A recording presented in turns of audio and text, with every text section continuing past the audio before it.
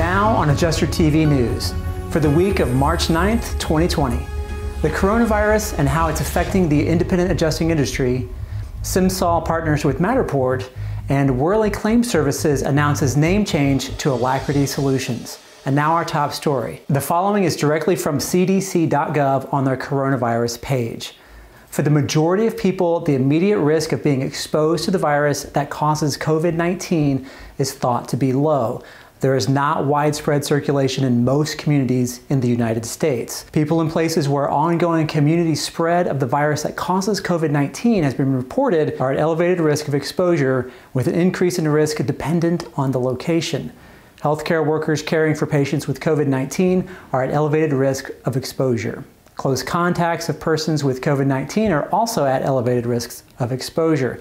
And travelers returning from affected international locations where community spread is occurring also at, are at elevated risk of exposure, with increase in risk dependent on location. More cases of COVID 19 are likely to be identified in the United States in the coming days, including more instances of community spread it's likely that at some point widespread transmission of COVID 19 in the United States will occur. Widespread transmission of COVID 19 would translate into large, number of, large numbers of people needing medical care at the same time. Schools, child care centers, and workplaces may experience more absenteeism, and mass gatherings may be sparsely attended or postponed. Public health and healthcare systems may become overloaded with elevated rates of hospitalization and deaths. Other critical infrastructure, such as law enforcement, emergency medical services, and sectors of the transportation industry, may also be affected. Healthcare providers and hospitals may be overwhelmed. At this time, there is no vaccine to protect against COVID 19 and no medications approved to treat it.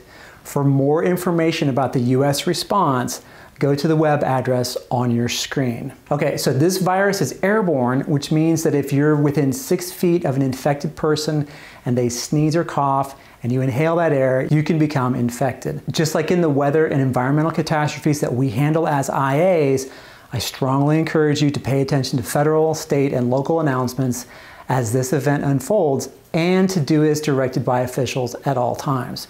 Please do not rely on social media for information. Now, what effect, if any, could this have on field claims for independent adjusters? It's hard to say right now, however, it is safe to assume that most corporations, including carriers, will try to limit employee to employee exposure or employee to customer exposure.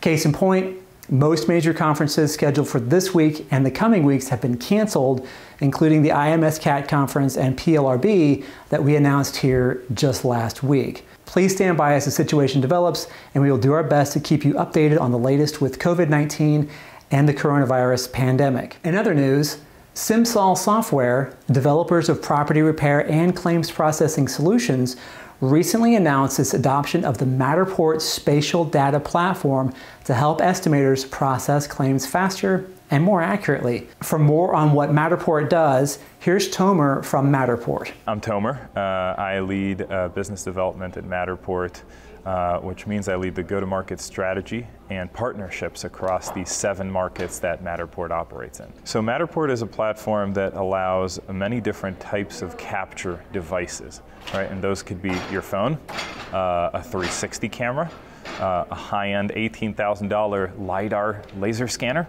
uh, or our kind of flagship solution, our Pro 2 camera. All these devices will collect data, um, and that's mainly imagery data as well as 3D dimensional data, port it into the cloud, and what it spits out is uh, an immersive 3D model that you could both walk around in, inspect, zoom in, annotate, and tag, uh, as well as measure uh, whether it's ad hoc measurements uh, or uh, just extract a floor plan, whether it's a black and white floor plan or an Xactimate sketch.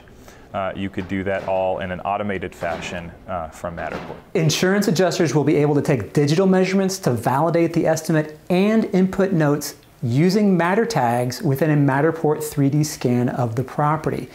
This allows for a three-dimensional and interactive approach to estimation. And finally, Worley Claim Services announced the launch of a new company brand and name change to Alacrity Solutions Group effective immediately. Alacrity Solutions includes the Worley family of companies, including Resource ASI, Nexus Solutions Group, and Alacrity Services.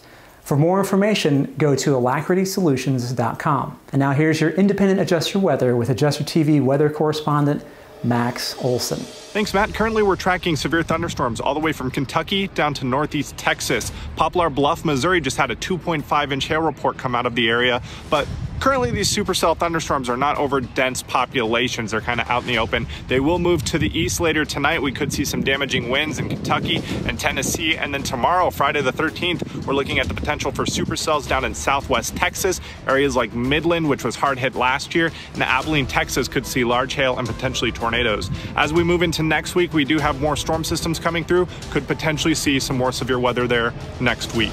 Back to you, Matt. Thanks, Max. If you've got an announcement or story that you want independent adjusters to know about, get your message in front of thousands of adjuster eyeballs every month on Adjuster TV News. Visit adjustertv.com slash news for more information. What's a good sign off for news? Peace. And that's the news. and I am out of here. yeah, I don't know. I got nothing.